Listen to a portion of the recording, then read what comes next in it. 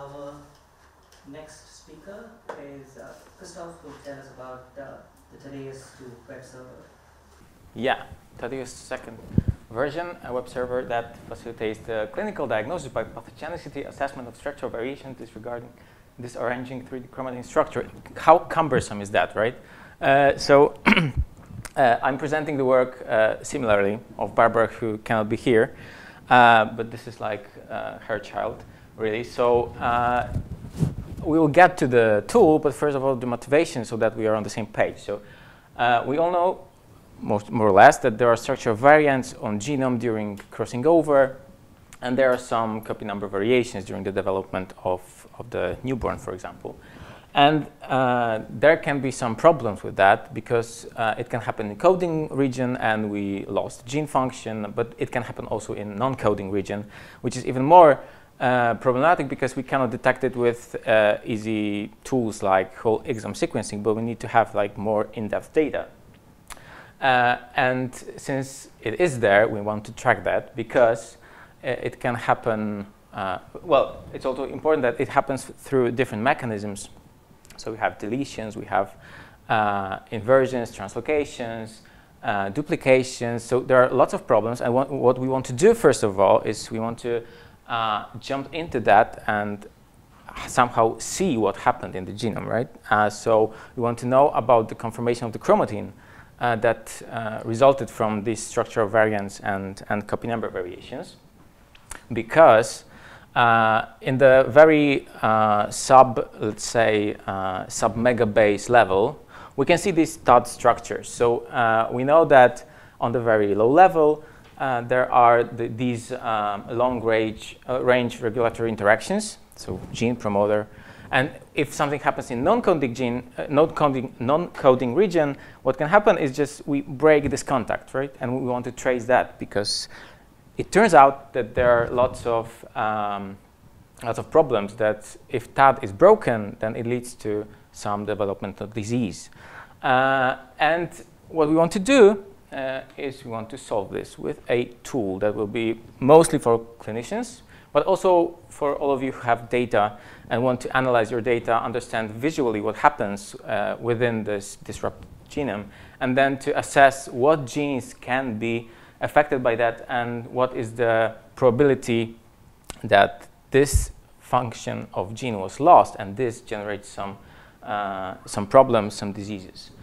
Uh, so uh, there is a state of the art, obviously, uh, where you can assess what happens when uh, given Hi-C data, when you have contacts on the genome, you can tell that, okay, with the duplication something happens, and you have the syntenic, so the continuous view of genome, like in UCSC and, and things.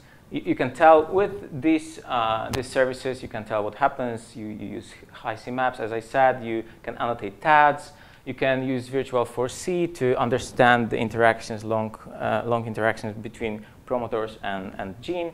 That's cool, but what is missing in, at some level is the breakpoint browser mode. So if we have a translocation, we don't lose the copy.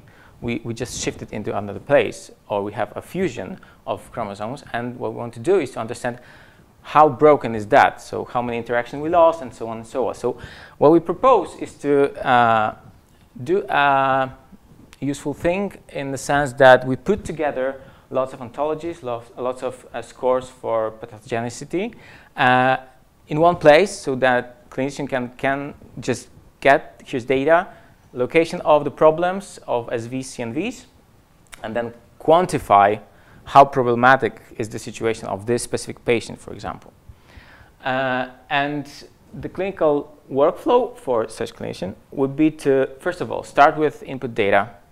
And what we need to have at the very beginning of, of the tool is to identify where is, for example, the breakpoint which happened on the sequence, for example, in non-coding uh, region.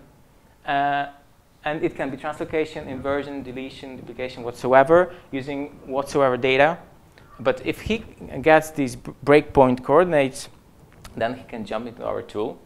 Uh, using Hi-C matrices that we already have uh, uploaded to our tool, for different uh, cell types and different tissue types and like we can communicate with different, uh, different modalities here. Uh, then he chooses uh, some mode, so the breakpoint mode for translocation, or the syntenic mode, which is more traditional for duplications and loss of genes or loss of sequences. Uh, and then we jump into the fun part, which is we help to select genes, uh, the disease-causing putative genes, based on lots of data that we catch from other databases and so on. So we measure distance from breakpoints, which is like easy. Uh, we can uh, tell how, how many uh, broken enhancer promoter interactions are there. We use some like uh, golden standard scores like gnomAD, pLI score, and so on and so on. Uh, and given that, we have a ranking of, of genes. But then, as you know, if someone uh, makes a statement that I found something, usually the Society of Scientists says, what is your p-value, right?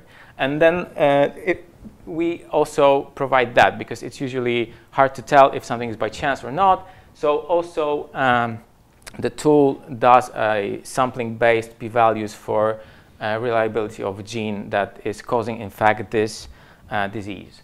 And based on that, uh, we can understand the position effects based on, again, different, uh, different sources of knowledge. And after that, uh, the one who is in wet lab can construct specific experiments to understand if this is exactly the gene that happens to uh, provoke such disorders.